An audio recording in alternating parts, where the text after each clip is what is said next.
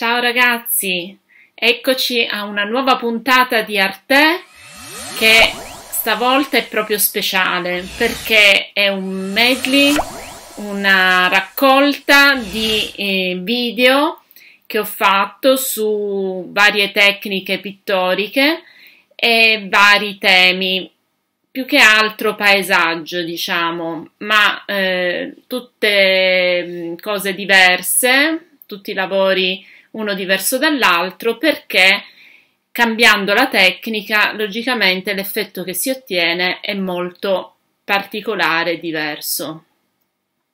Quindi abbiamo l'uso delle matite colorate, dell'acquerello, dei pastelli ad olio e anche il collage che è uno degli ultimi lavori che vi ho proposto.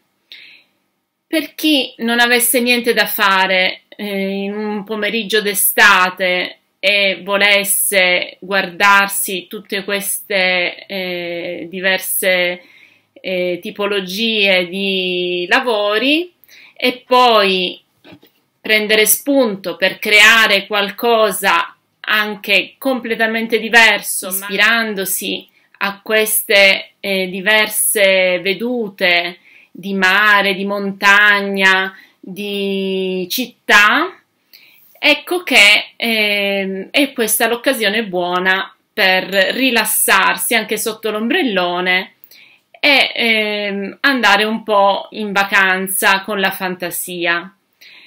Quindi io spero che eh, vi siano di ispirazione e di spunto, eh, ve li metto tutti insieme, poi vedrete voi quale vi piace di più.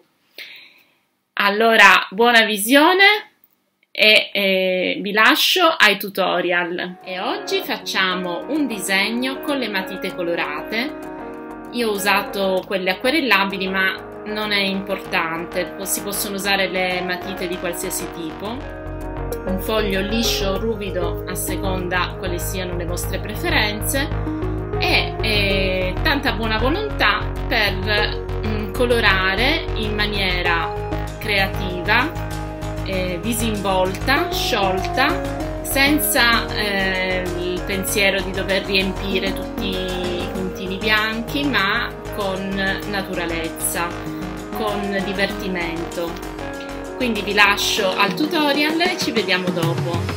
Questo è il disegno da cui ho tratto ispirazione e che realizzo prima a lapis naturalmente in maniera semplice, senza prendere delle misure con il righello, ma andando un po' a occhio. Naturalmente tenete conto che gli edifici che si trovano a destra devono prendere una, più di una metà del foglio in larghezza e sulla sinistra c'è invece un paio di alberi e sotto queste rocce quindi il disegno eh, comprende anche la parte che dovrò eh, ombreggiare e poi prendo i colori che eh, utilizzo a partire dal giallo che è eh, diciamo il colore più chiaro che ho. Quindi mh, mm, vado a mh, mm, riempire le parti più chiare con dei tratti incrociati. Poi passo all'arancione e fin qui sono colori che si trovano in tutti gli assortimenti di matite. Di rossi invece ne ho usati varie tonalità, però se ne avete uno solo va bene lo stesso. Potete usarlo più leggero, più intenso, quindi eh, dovete variare la pressione della mano e potete mescolarlo con l'arancione o col giallo per ottenere delle sfumature diverse eh, o col magenta anche se ce l'avete, cioè il fucsia. Con il eh, marrone vado a fare le parti in ombra e quindi a definire i tetti e eh, le ombre che gli edifici creano l'uno sull'altro. Abbiamo ehm, quindi da fare questi tratti in maniera molto sciolta e molto libera e eh, naturalmente anche in maniera precisa i contorni che non devono essere dappertutto, diciamo che andiamo a sottolineare di più le parti più scure. e, e quindi su questi edifici che non hanno dei colori naturalistici, cioè non sono colori reali, ma sono semplicemente un'idea che noi abbiamo di questo paesaggio che ci ricorda molto l'estate, i colori caldi quindi, eh, ma anche tanta luce che eh, otteniamo lasciando delle parti bianche. Quindi andiamo a um, colorare le varie facciate delle case, i vari edifici con rosso, arancione e um, e giallo. Questi sono i colori principali, oltre al marrone che serve per eh, sottolineare le ombre. I colori freddi invece li troveremo poi negli alberi e, e anche questi non saranno alberi verdi col tronco marrone e basta, ma eh, con eh, caratteristiche più fantasiose, quindi colori non realistici. Qui c'è un pochino di verde che era un verde ehm, acquamarina, un verde turchese io non avevo questa tonalità e l'ho creato col verde chiaro e il celeste. Quindi eh, andiamo a completare la parte delle abitazioni, noterete che non ci sono finestre, è tutto molto stilizzato, molto semplificato e questo ci dà proprio un'idea anche di pulizia, di qualcosa di leggero, di poco impegnativo. Ecco, se, se, passo la gomma è perché magari mi sono accorta che il rosso era troppo intenso e ho voluto schiarire, quindi si può intervenire anche in un secondo tempo con la gomma se avete eh, utilizzato troppo colore. A questo punto eh, facciamo anche la parte sotto, quella delle rocce, che hanno più o meno sempre gli stessi colori. E qui eh, il tratto è ancora più eh, diversificato, cioè eh, in tutte le direzioni, per dare l'idea proprio dell'irregolarità di questi materiali rocciosi. Quindi in maniera abbastanza spontanea ma eh, ho tenuto conto naturalmente del modello di riferimento che ce l'ho sempre davanti, ce l'avevo aperto sul computer e quindi potevo eh, sempre riferirmi al modello. Non è eh, una cosa sbagliata copiare nel disegno, soprattutto quando si deve imparare. È qualcosa che fanno anche i grandi artisti, non nasce nulla dal nulla e quindi è bene eh, avere sempre o si, ci si ispira eh, al vero, quindi a quello che vediamo nella realtà, ma anche a un altro disegno, a una fotografia quindi qui adesso stiamo eh, facendo il tronco dell'albero con appunto il marrone ma anche il rosso quindi altre eh, parti della terra che anche il verde e anche il blu. Ecco c'è l'utilizzo del blu anche nella chioma dell'albero e del nero per le parti più scure quindi per l'ombreggiatura abbiamo un, eh, un albero quindi un pino direi eh, con i colori più vari, dal rosso al blu al verde, eh, di due tonalità, chiaro e scuro, al giallo. Ecco, questo mi è piaciuto molto di questo disegno, il fatto che eh, questo albero sia così colorato, così allegro e il nero eh, ci aiuta a far risaltare gli altri colori. Quindi non è che lo intristisca, anzi. E qui ce n'è un altro albero un po' più piccolo sulla sinistra eh, in cui appunto c'è un po' di blu anche nel tronco. Infine il cielo eh, era un um, azzurro violaceo ho usato proprio un violetto eh, per spezzare con gli altri colori e deve essere usato in maniera molto leggera molto delicata non in maniera totalmente uniforme nel senso che ci saranno delle parti un po' più chiare, altre più scure, le nuvole derivano non tanto da un contorno ma dal colore che c'è intorno che le eh, definisce. Quindi non si deve vedere una linea di contorno infatti non le avevo neanche fatte al lapis. E quindi la mano molto leggera possibilmente nel cielo sempre nella stessa direzione io direi e, e facciamo anche il cielo che si vede attraverso queste arcate Bene ragazzi, questo è il lavoro finito. Allora, qual è l'occorrente che ci serve per iniziare il lavoro? Innanzitutto un foglio ruvido che trattiene meglio l'acqua dell'acquerello, un lapis, una gomma, una punta lapis e poi per dipingere un pennello, io ho utilizzato un pennello morbido numero 5 con eh, le setole che creano una punta per poter fare anche i particolari più piccoli. Un piattino di plastica da usare come tavolozza, ma spesso gli acquerelli oggi hanno anche la tavolozza e appunto servono i nostri acquerelli. I miei sono un po' datati, sono di quando facevo l'Accademia di Belle Arti, quindi eh, oggi magari non lo so se si trova più questa marca, comunque vanno benissimo quelli che si trovano nelle cartolerie, non bisogna andare proprio in un negozio di belle arti.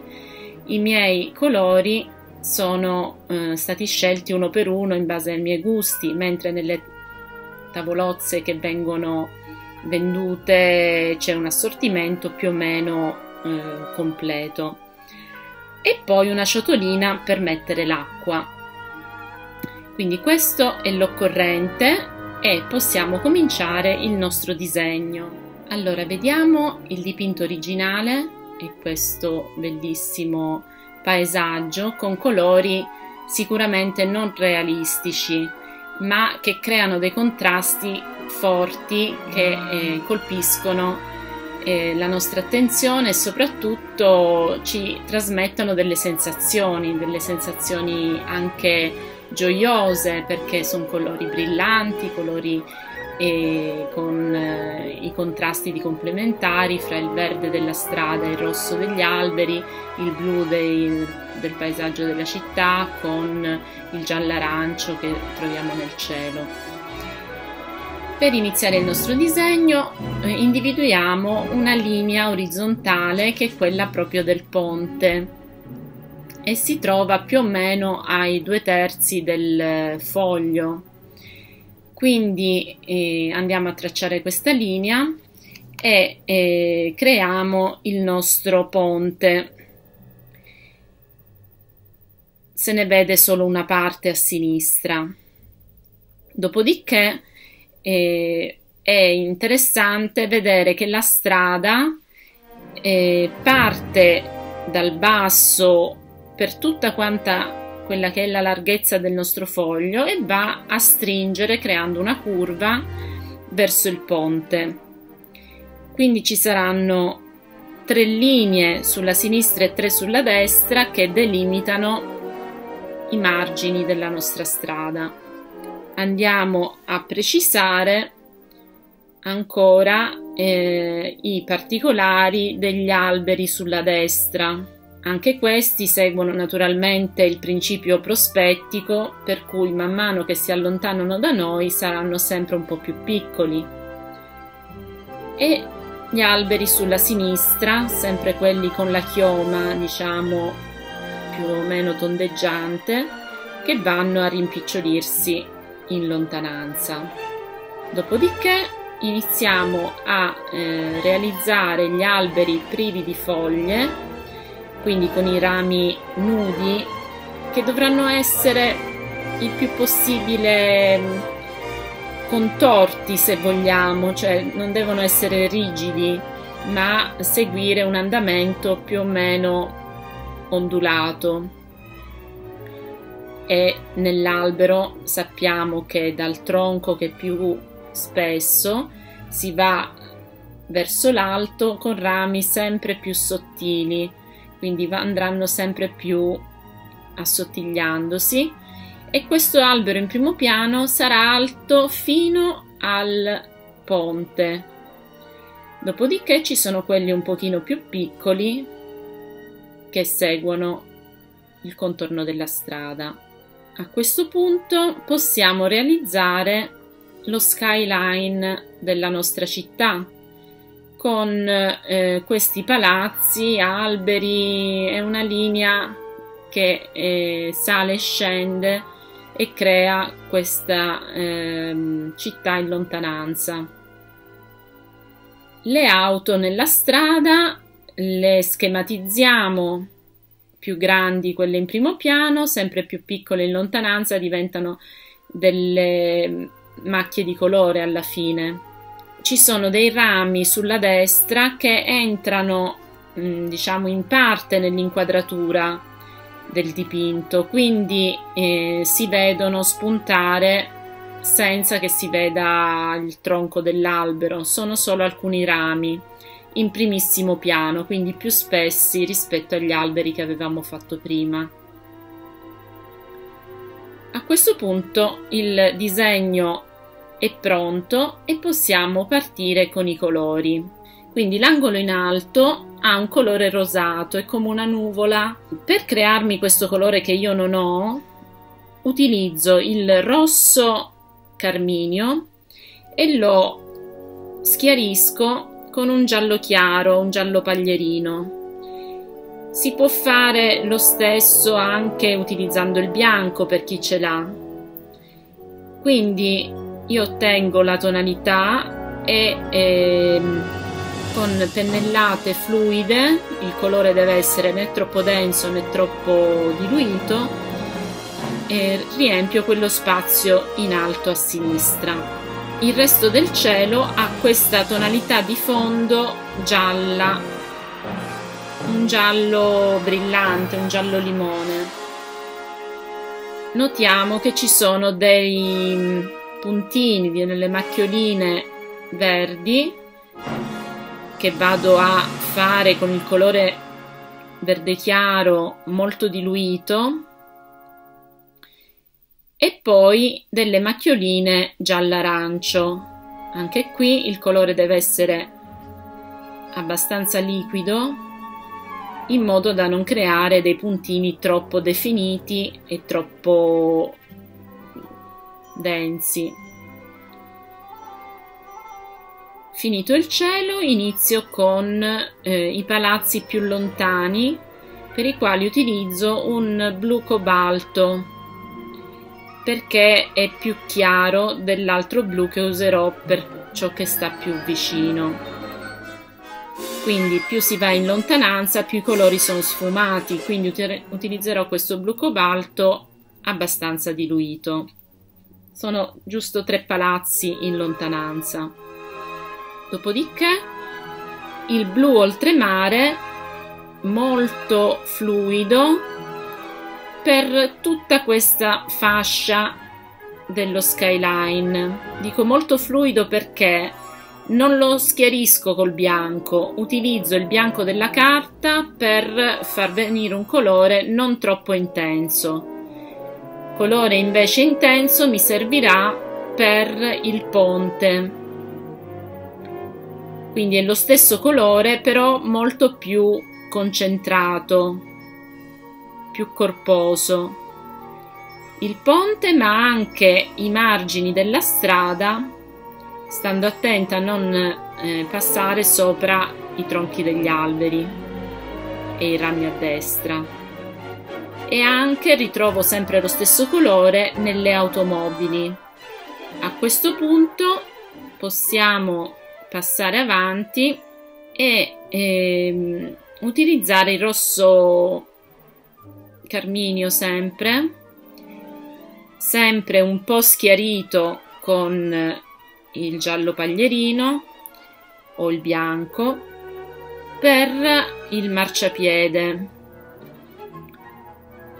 Sarà schiarito meno rispetto alla nuvola in alto, quindi ci sarà più rosso e meno eh, giallino. E ancora più rosso invece, stavolta puro per gli alberi. Gli, le chiome degli alberi con il rosso carminio, però abbastanza diluito. Quindi anche lì il bianco della carta mi aiuta a ottenere dei colori non troppo intensi, soprattutto a creare delle sfumature. Vedete a destra il rosso non è uniforme, ho cercato di eh, delineare i vari alberi che sono unite le chiome e separandole solamente con la tonalità di colore. Adesso con il giallo limone che avevamo usato per il cielo, però più diluito, riempirò la parte del campo sulla sinistra. Starò attenta a non andare sopra i rami degli alberi. A questo punto passo al verde. Utilizzo un verde smeraldo per la strada e per eh, quel pezzettino sulla destra, però non lo uso sempre nella stessa densità. Sarà più intenso, più concentrato, diciamo così, meno diluito nel primo piano per avere un colore più forte e andando in lontananza lo diluisco di più e così ottengo l'effetto proprio della distanza che schiarisce un po' i colori.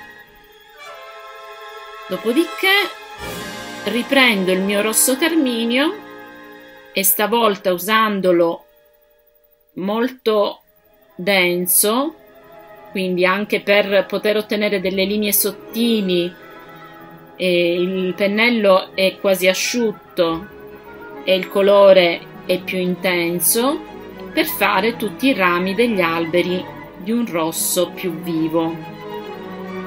Ma non solo, una volta che avrò terminato le automobili con i particolari neri e giallo eh, arancio, prenderò il colore blu e ehm, creerò l'effetto dell'ombra nei rami degli alberi, sempre con il blu oltremare.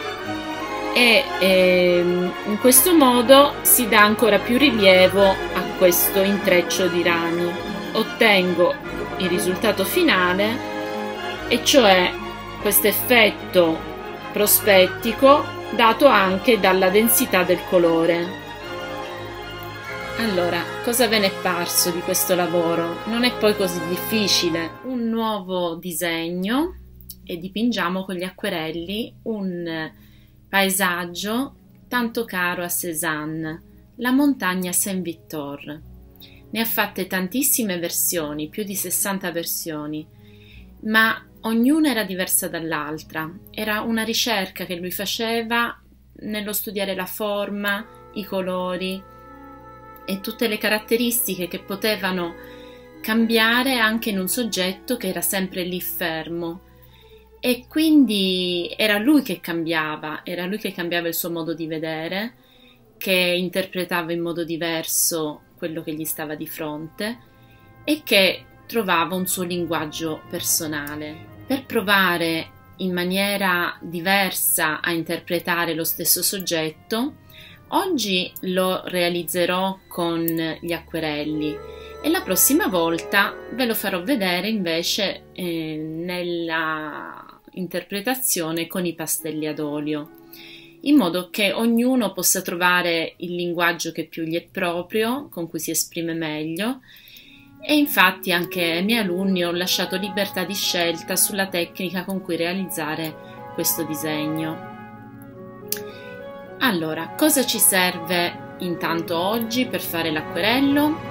Innanzitutto un foglio ruvido 24 x 33 cm, poi ci serviranno gli acquerelli e stavolta userò quelli stessi che eh, sono più comuni fra i miei alunni, cioè eh, i Giotto, gli acquerelli da 12 della Giotto.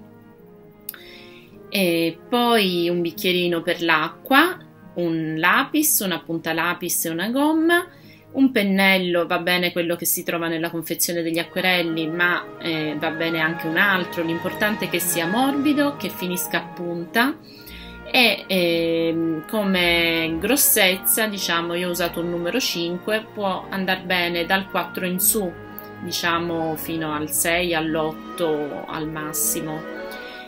E poi ho utilizzato stavolta anche un eh, rotolo di scotch di carta per fissare il foglio al mio piano di lavoro Questo permette anche eh, di tenerlo ben teso in modo che non si onduli troppo per l'uso dell'acqua. Quindi eh, eccolo qui attaccato da tutti e quattro i lati, cerchiamo di eh, mettere lo scotch ben dritto mh, mm, che prenda un mezzo centimetro o poco più da ogni lato e questo creerà anche un bordino bianco nel nostro foglio eh, che mm, sottolineerà il nostro lavoro e ci permetterà anche di non uscire fuori, di non sporcare, eh, quindi rifinisce meglio il tutto. Quindi iniziamo il nostro disegno con una linea dell'orizzonte che è un po' più su della metà del foglio e ehm, il profilo della montagna. Quindi l'originale è questo qui eh, che vedete, è una appunto delle tantissime versioni di Cézanne, una delle ultime quando eh, ormai Cézanne si è allontanato un po' dal eh, realismo, è andato più alla sintesi. E sappiamo che Cézanne è considerato il padre spirituale dei cubisti, quindi nel suo modo di osservare la realtà dai vari punti di vista, vedere tutte le sfaccettature e dare un volume, una solidità alle forme, ecco in questo i cubisti eh, lo hanno preso un po' a modello. Quindi andiamo avanti con il nostro disegno. Utilizziamo come primo colore il celeste, il cian per le zone più chiare del nostro cielo. Come vedete ci sono varie sfumature, non ha sempre la stessa intensità, pur essendo lo stesso colore che io ho diluito nella tavolozza che è il coperchio poi dei nostri acquerelli. E deve essere preso un po' di colore e sciolto con l'acqua fino alla, ad avere la densità desiderata.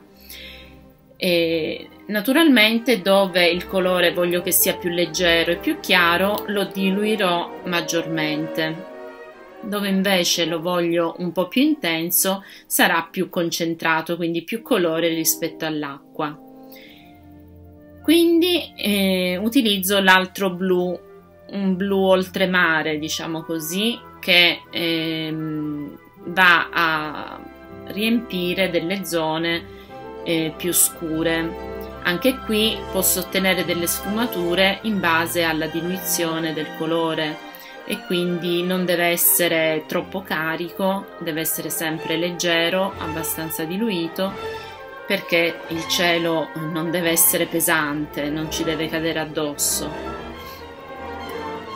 A questo punto ci accorgiamo che Cézanne ha utilizzato addirittura il verde nel cielo, questo proprio perché a lui non interessava tanto eh, essere realista al 100%, ma eh, il suo modo di vedere le cose, quindi eh, queste sfumature di verde danno un tocco veramente particolare al cielo e sono qualcosa che anche mh, dà più brillantezza e più vivacità.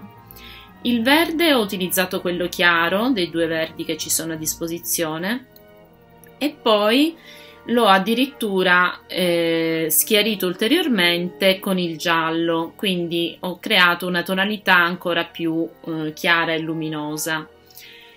In questo modo eh, sono andata sulla destra a precisare eh, alcune parti che avevano appunto secondo me questa tonalità. Finito il cielo, sono andata a eh, creare un profilo della montagna con il blu oltremare e ho anche individuato una linea sulla sinistra che scende, che crea come una piramide tridimensionale. Quindi una volta fatto questo profilo, sempre con il blu oltremare stavolta più diluito, sono andata a ombreggiare le parti più scure. Invece ho illuminato con il giallo però leggermente scaldato da un pochino di arancio eh, alcune parti eh, più in luce della montagna, quindi a creare eh, quello che viene un po' in avanti rispetto al blu che ci dà un senso di profondità, il giallo viene in primo piano. Quindi il giallo eh, non ho usato quello già pronto, ma eh, ho creato io una tonalità leggermente più ocra. A questo punto sono andata a utilizzare di nuovo il verde mh, mm, nelle zone di ombra della montagna, stavolta il verde quello più scuro, il verde smeraldo e quindi eh, a sottolineare di più le zone eh, ombreggiate. Continuando con il eh, Chan, eh, sono andata a riempire zone eh, più chiare della montagna eh, e a dare un po' uniformità al tutto.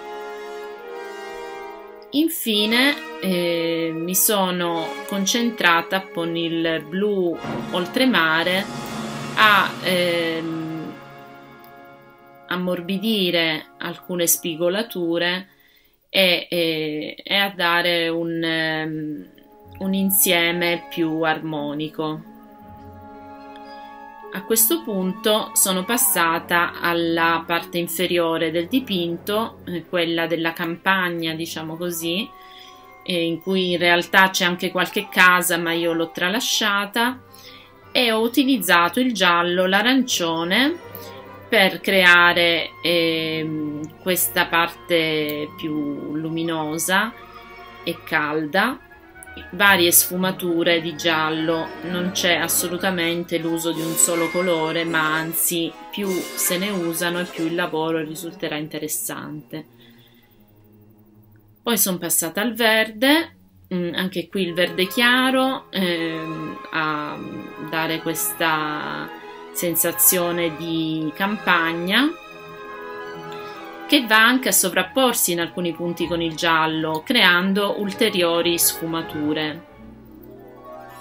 Quando si utilizzano i colori bagnato su bagnato, cioè quando il colore non è ancora completamente asciutto e io ci vado sopra con un altro colore, questi si fondono e creano delle eh, sfumature appunto ancora più naturali. Sono passata quindi ai colori scuri, quindi addirittura al nero, usato molto diluito, per sottolineare e dare contrasto eh, appunto la zona in primo piano, eh, ma anche in profondità. Deve essere usato con molta attenzione il nero perché naturalmente non si può correggere, questo in generale per l'acquerello è una regola, eh, si può modificare ma mai correggere completamente quindi bisogna lavorare abbastanza rapidamente e con una certa sicurezza che si acquisisce naturalmente con la pratica, quindi a poco a poco si diventa sempre più esperti e si capisce come gestire l'acqua di questi colori. Queste macchie nere eh, saranno in alcuni punti un po' più dense, quindi più intense, e in altri più diluite, tendendo al marrone, marrone che poi sono andata a inserire eh, per creare ulteriori variazioni e rendere anche meno contrasto forte questo nero eh, che altrimenti spezzerebbe in maniera troppo violenta sono andata ancora a lavorare con il verde, stavolta il verde è quello più scuro e a mm, sovrapporre i colori per stratificazione, per velature.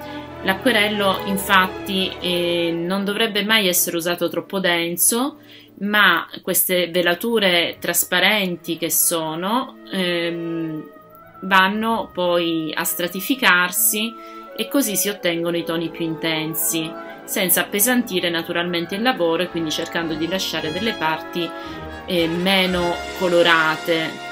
Se ci sono delle zone bianche, quelle appunto sono i punti luce importantissimi che noi abbiamo appunto nel cielo e nella montagna.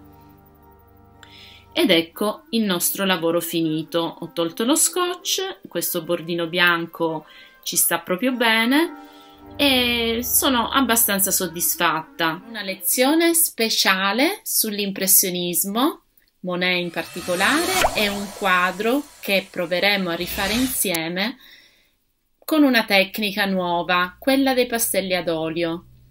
Quindi vi faccio vedere l'originale e il risultato che ho ottenuto con il procedimento che andrò a spiegarvi. Ma vediamo subito che cosa possiamo realizzare con i nostri strumenti, qual è il materiale che ci serve. Quindi innanzitutto un foglio d'album 24 x 33 cm, un lapis, una gomma, una punta lapis e i nostri bellissimi colori ad olio. Basta una confezione da 12, come quella che vedete, per ottenere tutte le sfumature che vogliamo. Quindi iniziamo a fare il nostro disegno. Saranno pochi tratti di matita eh, giusto quelli essenziali per eh, inquadrare questa rappresentazione eh, sul, sulla senna di questo porto quindi c'è un sole che sorge un sole nascente su un, eh, uno specchio d'acqua quindi ci sono i riflessi sull'acqua che noi andremo a rappresentare. Iniziamo però dal cielo. Questi sono i primi colori che ho utilizzato, quindi il color ocra, il giallo, il rosa carne e l'arancione. Il tutto poi può essere sfumato con il bianco quindi invece che usare le dita per sfumare, se non ci vogliamo sporcare le dita e vogliamo avere un effetto più morbido, possiamo utilizzare il bianco. Ecco qui i primi tratti fatti con eh, i colori che vi dicevo. l'andamento è un po' obliquo e, e quindi delle linee che eh, mescolano questi colori. Vi ho già messo pronti i colori successivi che andrò ad usare però prima vediamo un piccolo ingrandimento eh, che appunto vi fa vedere come l'ocra il eh, rosa carne e l'arancione vengono sfumati con il bianco vedete nell'angolino in alto a sinistra ecco qui abbiamo la parte centrale del nostro dipinto, sempre con questa sfumatura. Ed ecco che i colori che si aggiungono, cioè il blu e il porpora, cominciano a rendere la cosa più interessante perché appunto si crea una vasta gamma di tonalità. Il bianco ci aiuta sempre a smorzare questi colori in modo che non eh, siano troppo eh, prepotenti, che non, eh, non siano troppo sgargianti. Ecco un particolare ingrandito. Vedete se si vede la grana della carta non è una cosa negativa. Quindi l'uso del colore deve essere sempre leggero. Non dobbiamo cercare di riempire tutti gli spazi bianchi. Colore leggero, poi il eh, pastello bianco ci aiuta a sfumare, ma se rimangono delle parti un po' più granulose con il bianco della carta si ha un effetto più luminoso. Questo è l'altro lato. Eh, ci sono delle tonalità leggermente verdastre date dal sovrapporsi di ocra e blu quindi non ho utilizzato il verde mm, diciamo che vengono se si vogliono evitare si deve evitare di, sovrapporre questi colori e così come il porpora mescolato con l'ocra dà un colore eh, più bordeaux più scuro. Ecco qui eh, ancora questa mm, sfumatura. Il blu viene quindi eh, reso più delicato, il giallo permette di dare luminosità. Ecco, questo è l'effetto totale con eh, il rosa carne che permetterà ancora di amalgamare di più questi colori. Ecco, questi sono eh, dei particolari per poi passare alla parte delle, delle, ciminiere, delle fabbriche di questo porto che hanno quindi dei eh, fumi che si innalzano nel cielo. Sono fumi più che grigi, azzurri. Il colore per gli impressionisti è, è fondamentale, quindi il nero eh, si usa solo eh, in eh, maniera pura, non, non, va a spegnere gli altri colori. E le ombre di solito non sono nere ma sono colorate. Ecco il particolare delle fabbriche, quindi il colore che diventa protagonista in queste tele. Qui ehm, ho posizionato i colori che sono andata a utilizzare. Ho colorato finalmente il nostro sole rosso-arancio e eh, sono andata a definire anche la parte destra del dipinto con eh, questi colori anche un po' più scuri come il marrone che eh, crea diciamo un po' di contrasto rispetto ai colori più brillanti. Quindi ecco l'ingrandimento sul sole e ho sfumato intorno in modo da renderlo più protagonista eh, quindi su uno sfondo più leggero, il colore rosso-arancio deve spiccare in maniera netta. E adesso eh, ho cominciato a eh, definire il fiume, quindi sono dei mm, tratti orizzontali stavolta e eh, il riflesso del sole deve essere fatto per primo in quanto non è possibile mettere il rosso e l'arancione sopra il blu.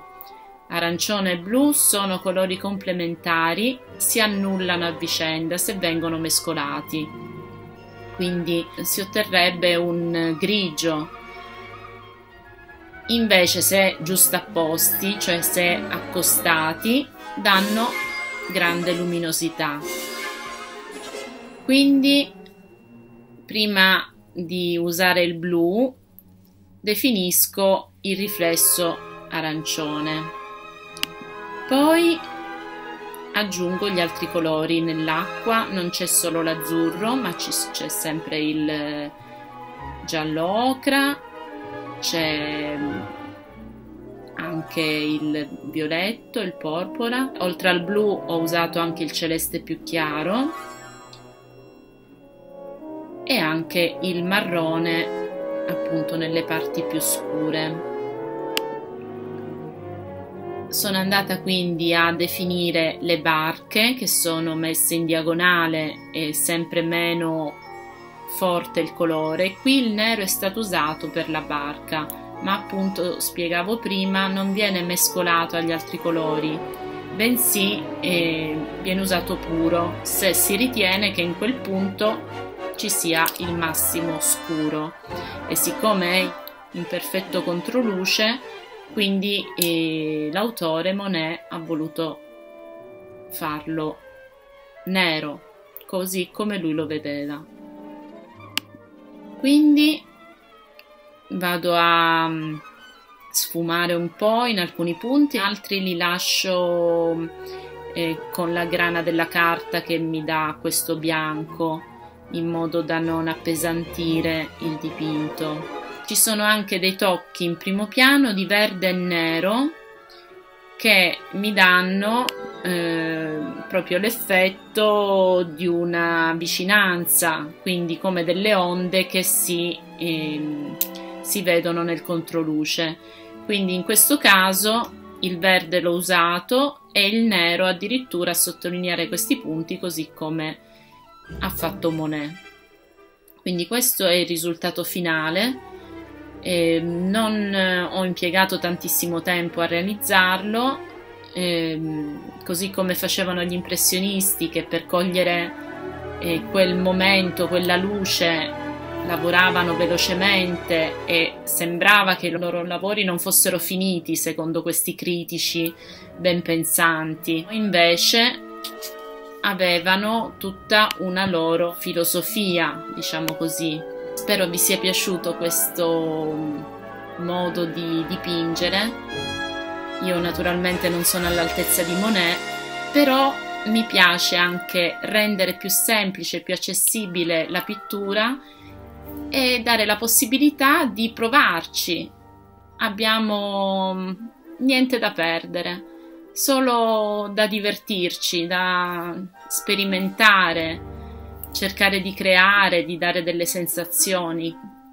Non per questo siamo forse artisti come quelli famosi, però è una strada che dà soddisfazioni, un lavoro pratico, divertente che può farci venire un sacco di idee e di ispirazioni. Si gioca con i cartoncini, con i colori e si crea un'opera unica. Nessuno la farà mai uguale alla nostra. Noi prendiamo spunto da un'opera di Paul Klee che è Acquario sottomarino, che non è un collage come quello che faremo noi, ma è un olio su tela però ehm, mi ha stuzzicato, diciamo, quest'opera e mi ha fatto venire la voglia di creare una versione naturalmente diversa, eh, ma eh, che prende spunto da questo luogo fresco e mh, mm, che sa di vacanza. Per il nostro lavoretto occorrono cartoncini colorati, lapis, gomma a punta lapis, un pennarello nero, forbice e colla. Scelgo il cartoncino celeste come sfondo e creo delle forme negli altri cartoncini colorati.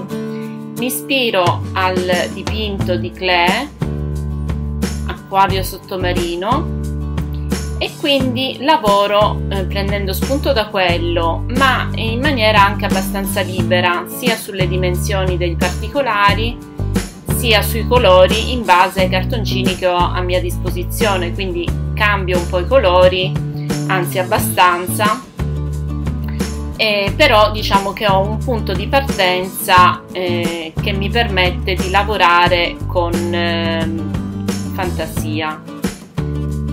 Quindi eh, comincio all'inizio a ritagliare diverse forme senza incollarle ancora, ma cercando di capire eh, lo spazio che occupano e con il lapis eh, segno anche sul cartoncino celeste alcune forme che devono rimanere celesti.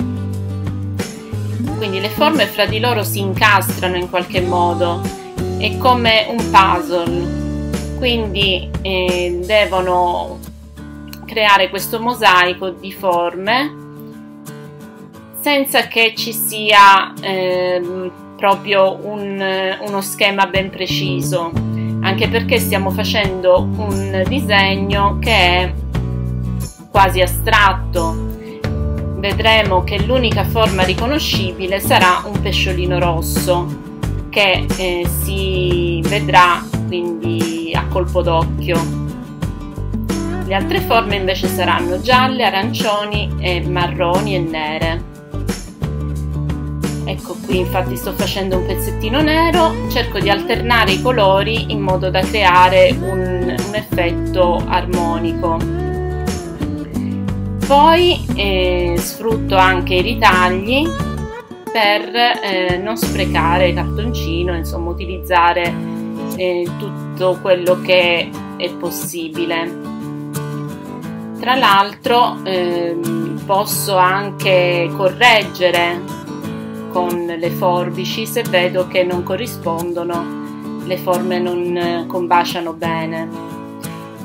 Eh, si tratta di un lavoro abbastanza libero ma allo stesso tempo eh, che deve mh, mm, avere un criterio, cioè quello di ehm, un'armonia generale.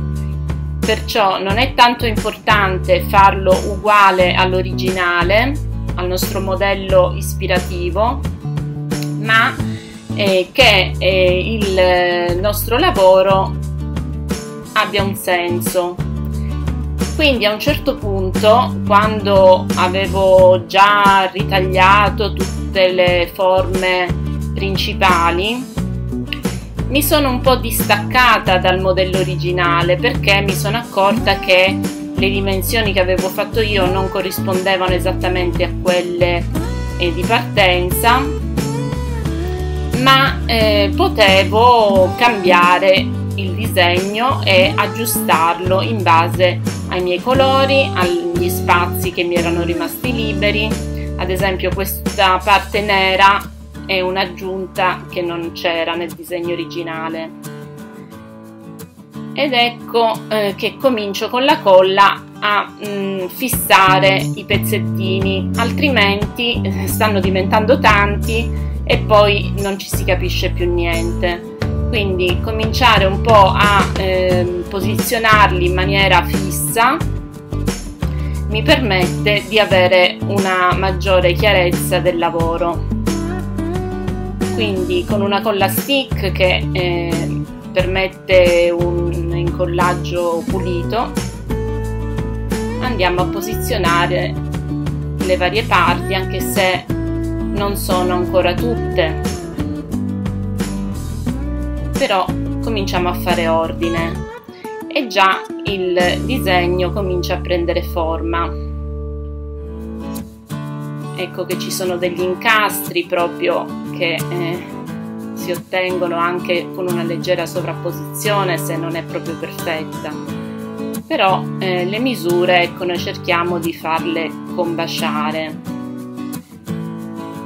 Ecco qui, a questo punto ehm, ecco, attacco gli angolini, le parti che ancora non sono ben attaccate, con la gomma ripulisco il eh, foglio dalle linee sbagliate e continuo a creare altre forme che purtroppo non si vedono perché sono uscite dalla inquadratura. Comunque lo vedrete poi nel lavoro finito. E, Ripeto, questo è un suggerimento, ma si può fare con qualsiasi disegno o di propria invenzione o preso da qualche artista o um, da una fotografia da cui ricavare una semplificazione. E qualsiasi cosa può, es- può essere motivo di ispirazione. Ecco, ad esempio, un piccolo ritaglino mi è piaciuto inserirlo, aveva già una sua forma un po' particolare. Anche qui dei piccoli dettagli che creano delle linee di contorno in questa parte inferiore. Vado ad aggiustare la forma e a incollarla. Ancora qualche qualche ultimo dettaglio di questo acquario sottomarino che è veramente molto di fantasia, sono tutte forme irreali. Ripeto, l'ultimo dettaglio sarà proprio questo pesciolino che è l'elemento riconoscibile. L'azzurro di fondo ci dà l'idea del mare. Quindi eh, è così che amava Cle lavorare eh, per suggerimenti non, eh, non copiava la realtà ma la inventava però con qualche piccolo elemento che ci riporta alla sua fonte di ispirazione. Ecco, il pesciolino l'ho messo in un punto diverso da quello originale perché nel mio di- disegno stava meglio così. Ecco, adesso c'è da ripassare tutti i contorni con il pennarello. Questo mi permette di evidenziare le forme ed era anche in quello originale nel dipinto di Clé.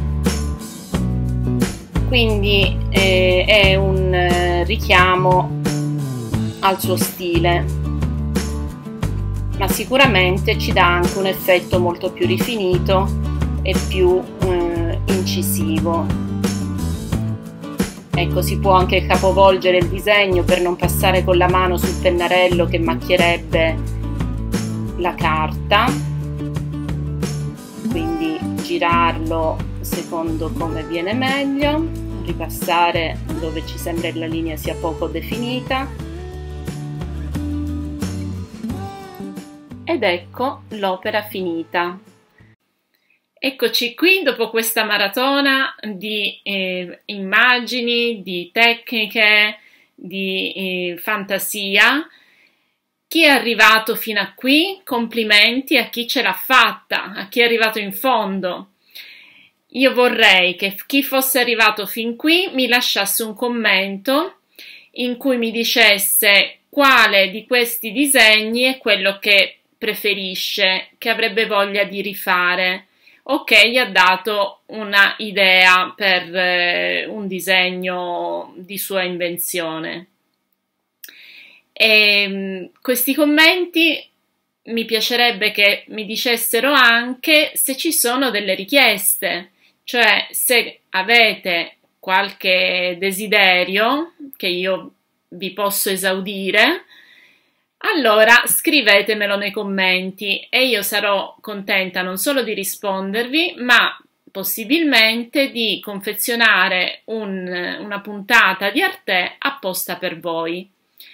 Quindi mi sembra che possiamo realizzare qualcosa di bello insieme, le idee mie, le idee vostre, mettiamo tutto insieme per fare qualcosa di creativo.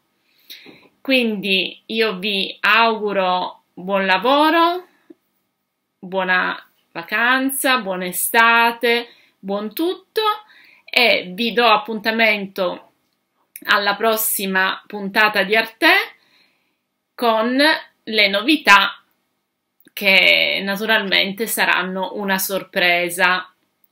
Un bacio e festeggeremo un anno dalla nascita di Arte. Il 31 luglio è un anno e questo è il trentesimo video, quindi il 31 luglio farò il trentunesimo. Mi do questa scadenza. Va bene, allora vi aspetto alla prossima, un grande bacione, come sempre, a presto, ciao!